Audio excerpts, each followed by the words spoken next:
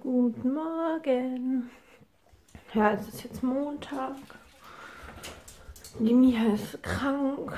Der ging es gestern schon nicht so gut. Ja, und deswegen ist sie jetzt zu Hause. Ich sehe ein bisschen ja, verschlafen aus noch. Der hat mich gerade gefragt, ob ich jetzt Milch machen kann. Und Cornflakes. Und Baby Ben braucht auch eine Milch. Das werde ich jetzt mal machen. Wartet mal, ich muss mal ganz kurz Baby Ben ins Bett legen. So, oh, ich habe gerade eben das Ende von Gilmore Girls geguckt und das ist ja irgendwie so traurig. Also es ist traurig, dass es zu Ende geht. Naja, ich will euch ja nichts verraten, aber also es ist eigentlich schön, aber ich finde es halt traurig, dass es zu Ende ist. Mia, möchtest du aus dem Glas trinken? Ja, wir sehen heute alle ein bisschen verschlafen aus. Mausi. Hm? Ich mach doch deine Milch schon. Hm? Kümmerst du dich mal um Baby Ben? Nee? Dann nicht, bist ja auch krank. So. Mia möchte bunte Cornflakes essen. Ich habe nur noch ein paar. Aber naja. Du? Na, wenn du keine mehr möchtest, dann kannst du dir auch, äh, kannst du dir liegen lassen. Hm. Hier ein bisschen Chaos jetzt. Ja, ich wollte daraus ein, die Milch, aber ich, ich habe doch hier eine Milch. Du wolltest eine Milch und Cornflakes mit Milch. Kriegst du. Eben gerade. Kennt ihr das bei euren Kindern irgendwie? Also, Ben, der ist so. Erst weint er gar nicht und dann von jetzt auf gleich. Mal gucken. Also erst weint er nicht und dann von jetzt auf gleich ist er voll am, am Schreien und will sofort und tut so, als ob ich ihn schon zehn Stunden lang schreien lasse. Ist aber nicht so. Jetzt mache ich kurz die Milch. Eins, zwei, drei, vier, fünf.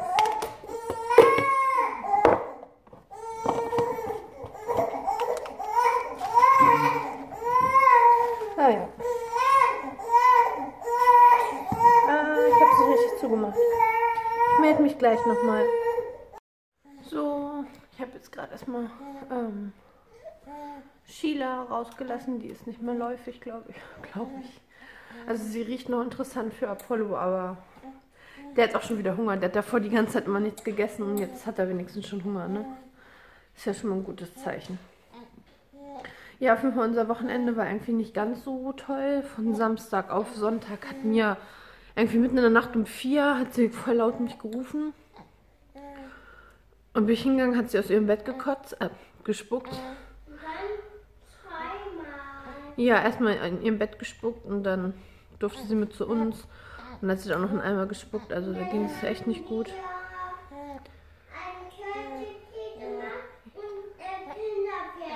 Genau, dann habe ich ihr einen Kirschtee gemacht, den wollte sie, mag sie so gerne. Und dann durfte sie ja, also nachts Kinderfernsehen gucken, also um vier. Ähm, und hat halt bei uns mit dem Bett gelegen in der Mitte. Wir haben uns so ein bisschen sie gekuschelt und so. Und dann habe ich ihr, genau, hm, du kannst das schon ganz gut erzählen. Dann, hab, äh, ging es ihr halt immer noch nicht so gut, sie war immer noch schlecht. Dann habe ich ihr, glaube ich, mit fünf oder so so einen ähm, Womex-Saft gegeben. Und der macht ja richtig müde. Ja. Ähm, dann habe ich ebenfalls einen Womex-Saft gegeben. Ja, weil weil es ihr halt nicht so gut ging. Und der macht ja richtig müde. Also Womex macht ja richtig müde. Und dann hat die hat sie geschlafen bis 8. Um 8 wollte sie dann in ihr Zimmer gehen und wollte eigentlich malen. Dann meinte ich so, ja, okay. Habe ich fünf Minuten später geguckt, lag sie in ihrem Bett und hat geschlafen bis 11. Also es war echt so ein bisschen, sie hat sehr viel geschlafen. Nee, du hast doch nicht gemalt. Du bist gleich ins Bett gegangen. Jedenfalls hat sie dann, lag sie dann bis elf im Bett, hat geschlafen. Und ähm, dann wollten eigentlich gestern ähm, meine Eltern mit ihr auf den Weihnachtsmarkt gehen, aber ich habe denen schon gesagt, dass sie krank ist, dass das nicht so gut ist. Und dann lag sie die ganze Zeit auf dem Sofa. Und dann haben wir noch kurz Besuch bekommen von dem Cousin von meinem Mann, weil er den Kühlschrank runtergetragen hat. Und selbst da ist sie halt nicht aufgestanden. Und dachte ich mir auch schon so, wenn sie da nicht aufsteht, ne? Von Marlo, genau. Wenn sie selbst bei, wenn sie selbst da nicht aufsteht, dann ist da schon irgendwas nicht okay. Und dann haben wir sie gefragt, dann durfte sie noch in ihrem äh, Zimmer nochmal Fernsehen gucken, weil ist ja krank, ne? Und dann habe ich gedacht, meinte Mama so, oh, die ist ja ganz schön heiß. Und ich Fieber gemessen hatte sie 39,3 Fieber. Dann hat sie noch so einen Ibuprofen-Fiebersaft bekommen und weiß ich nicht, eine Stunde später ist sie hier rumgehüpft, ne? Wie so ein Engelchen. Also überhaupt nichts mehr. Also dann hat sie die ganze Zeit, hatte sie Hunger, davor wollte sie auch nicht wirklich was essen. Hatte sie Hunger, wollte sie malen und basteln. Und dann habe ich mit ihr noch ihr Zimmer so ein bisschen geschmückt. Musste nicht essen alles. Naja, dann hat sie jedenfalls gebastelt und so. Wir haben ihr Zimmer geschmückt und es war alles richtig gut, ne? Und dann habe ich sie, dann hat sie ähm, noch so ein bisschen im Bett gelegen und habe ich sie gefragt, ob sie morgen wieder in den Kindergarten will. So, ja, sie weiß es noch nicht. Ja, und heute Morgen wollte sie einfach nicht aufstehen. Also war sie so wieder voll, ja, voll müde, obwohl sie eigentlich die ganze Zeit geschlafen hat. habe ich gesagt, ja, okay, dann lasse ich sie heute nochmal zu Hause. Und jetzt eben war sie auch wieder so richtig matschig irgendwie. Und sie hat gesagt, sie hat, ach genau, und sie hat, ähm, sie schläft ja nachts immer mit einer Windel und sie hat, ähm, sie macht nie ihr großes Geschäft in die Windel, nie. Also, das ist wirklich schon seit zwei Jahren so, hat sie es noch nicht ein einziges Mal gemacht nachts, ne? Und ja, jetzt war was drin und sie hat halt irgendwie Magen-Darm. Ja, und jetzt sagt sie halt, sie hat Bauchschmerzen. Hm, ja. Sie hat halt Bauchschmerzen, das habe ich ihr halt die Cornflakes gemacht und Milch wollte sie unbedingt trinken. Und jetzt pflege ich sie so ein bisschen gesund. Ja. Ich habe gestern immer gebadet und habe meine Haare einfach so ja, Luft trocknen lassen. Deswegen sind jetzt, sehen so aus. Ich muss mich gleich mal fertig machen. Und ich habe gestern einen ähm, Lidl Haul hochgeladen. Und irgendwie kommt der ja ganz gut an bei euch, der Lidl Haul. Und ja, dachte ich mir, ich muss ja ständig einkaufen gehen, weil meine Kinder und mein Mann, die essen halt sehr viel, ne? Vor allem mein Mann isst viel und gerne. Und dann dachte ich mir, kann ich euch öfter mal mitnehmen. Mitnehmen oder euch auf jeden Fall zeigen, was wir so einkaufen. Heute müssen wir eigentlich auch noch los, weil, also der Lidl Haul, den ich euch gezeigt habe, der ist, wann war das? Ich glaube Montag waren wir einkaufen. Also das ist jetzt auch schon wieder eine Woche her. Und also zwischendrin waren wir halt so ein bisschen einkaufen. Haben halt so, ja, was noch fehlt, mal so Brötchen und Met gekauft oder so, ne? Aber ansonsten waren wir eigentlich nicht einkaufen. Und heute muss ich auf jeden Fall Getränke kaufen.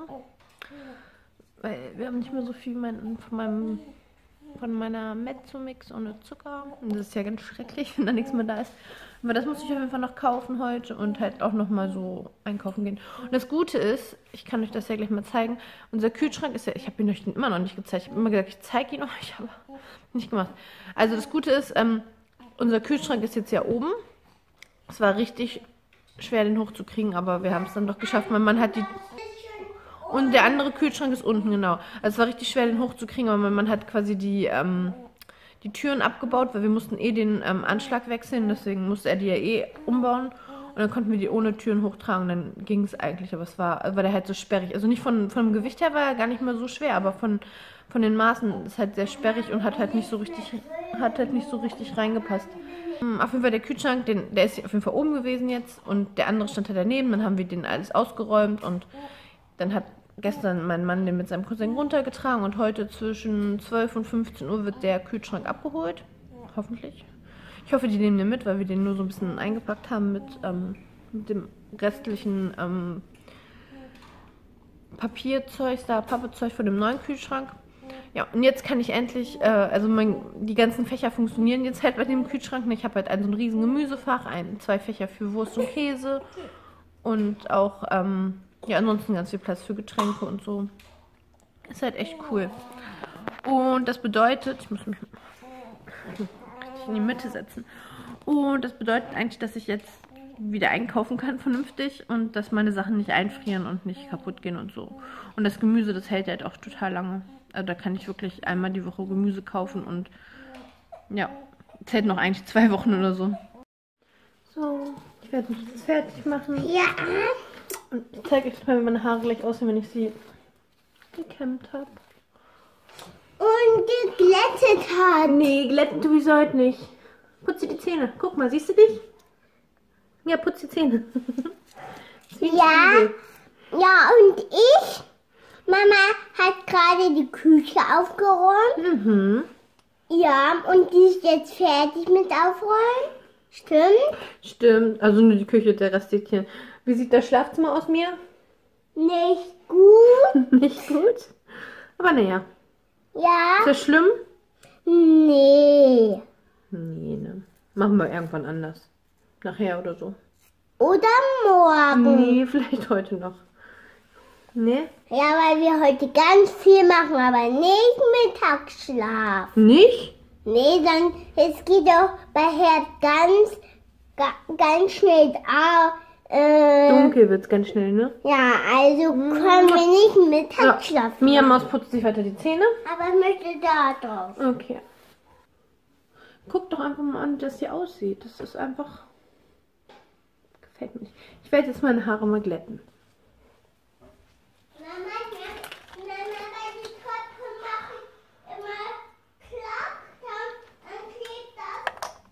Ja, Zähne putzen bitte weiter. Aber Mama, ich bin noch auf So, dem ich warte jetzt, bis das Glätteisen fertig ist. Reden eure Kinder eigentlich auch so viel? Also ich habe das Gefühl, Mia redet ununterbrochen.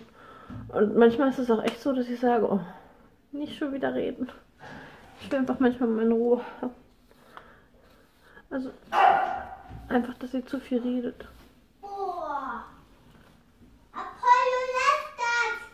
So, Mia, Zähne putzen, habe ich gesagt. Und sie hört nicht auf mich. Ich sage 5000 Mal, sie soll die Zähne putzen und sie macht es nicht. Mami, weil ich ganze Zeit auf die Treppe. Ja, man braucht aber keine 5 Minuten die Treppe runterzugehen. Geh bitte deine Zähne putzen. So. Gehst du bitte die Zähne putzen? Und mach mal wieder Zahnpasta drauf. Da ist gar keine Zahnpasta drauf. Erziehung ist schon was Schönes. Ich komme jetzt hier im Spiegel an. Hier steht halt eigentlich auch mal, also das ist ähm, die Belichtschalter. Also ich will ja gar nicht so blättern, aber. Also die Sätze kann ich wenigstens mal auf, auflassen, weil sie dann einfach hier auch mal da bleiben. Meine auch. Mama, was gerade auch nicht. Du hast gesagt, da, da habe ich so geredet. Weil du da nichts gesagt hast. Stimmt, Mama? Aber ich. Mia, bitte, hör auf zu reden. Kannst du mal fünf Minuten ruhig sein? Geht das? So, Zähne putzen.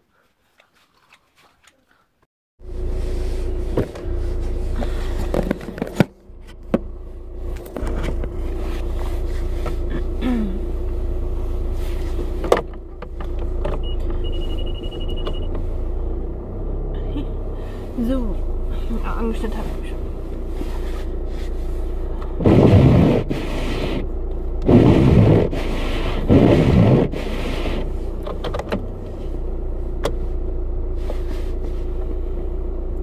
Ich sitze jetzt gerade in meinem Auto und habe von die Fensterscheiben schon eingesprüht. Und das war gerade mein Scheibenwischer.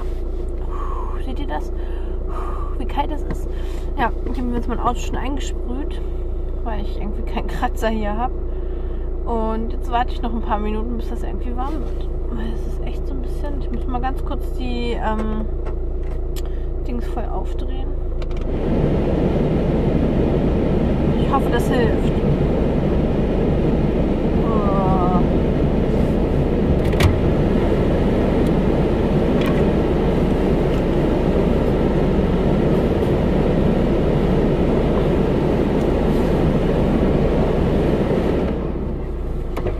Ich habe jetzt gerade nochmal durchs Fenster ähm, was hingesprüht, dass ich wenigstens etwas sehen kann. Und ja, ich habe mir überlegt, wo ich hinfahren soll. Ob ich zu, ähm, ich will jetzt einkaufen fahren, ob ich zu ähm, Lidl fahre. Das ist voll komisch hier, weil ich habe hier so eine, also das ist Automatik. Ich kann ja nur mit Automatikautos fahren, ne? Und ähm, das Ding ist halt ein Amerikaner, unser Auto. Und deswegen hat der die, ähm, die Schaltung quasi hier am Lenkrad, ne? Also da ist sozusagen dieser Schalthebel, wo ich dann von ähm, rückwärts in Vorwärtsgang wechseln kann und so ein Zeug. Und das äh, Problem ist, ich sehe halt erst, in welchem Gang ich bin von dem Display und da habe ich das Handy vorgestellt. Aber so, jetzt fahre ich ja erstmal. Das war ja nur im Grad, weil ich gedreht habe. So, also ich habe mir überlegt, ähm, wo gehe ich einkaufen? Gehe ich zu Lidl einkaufen oder zu Aldi? Aber weil ich das letzte Mal ja bei Lidl war, dachte ich mir, ich könnte jetzt mal wieder zu Aldi fahren. Ne? Oh, ich sehe überhaupt nichts. Scheiße Sonne. Oh, die ist aber echt niedrig heute, die Sonne. So, ich bin voll K.O. Ich habe mich das Einkaufen voll fertig gemacht. Ich habe jetzt die drei Taschen hier hochgetragen. Baby Ben habe ich auch hochgetragen. Wo bist du denn? Muss ich das mal drehen?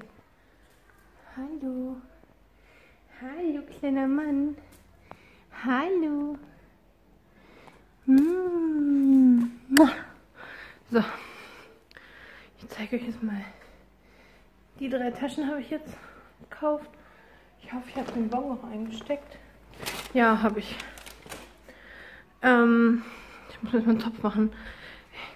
Ich habe mir jetzt aber die Haare offen gelassen. Ich kann nicht mehr. Es ist so nervig. Man hat immer irgendwas im Gesicht. Man muss immer die Haare machen. Und jetzt einfach hier eins von solchen. Hier, wir haben so eine ganze Kiste mit Gummibändern. Weil ich verliere meine immer. Und hier kann ich mir so einen Dutt machen. Ja, dann werde ich das jetzt mal mit euch zusammen auspacken. Muss mal gucken, wo ich es hinstelle. Ja, ist das gut.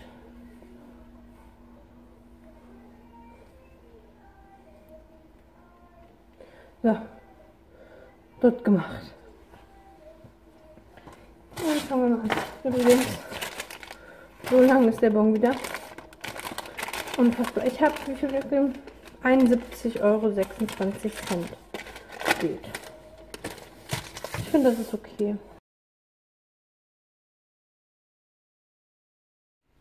Hallo, Baby Ben. Hallo. Mich mal an. Sag mal Mama. Hm? Ja, lach doch mal. Ja, lach doch mal. Oh, gespuckt. Oh, schon wieder gespuckt. Hm. Die Baby Ben spuckt immer, ne? Guck mal deine tollen Haare an. Du spuckst schon wieder? Baby Ben hat wie Mama. Baby Ben hat mit Babygrund den Namen. Mhm. Weil das auch ein Baby. Ja. Ein Babykind. Ein Babykind? Zeig mir deine Wuschelhaare. Lach mal die Mama an.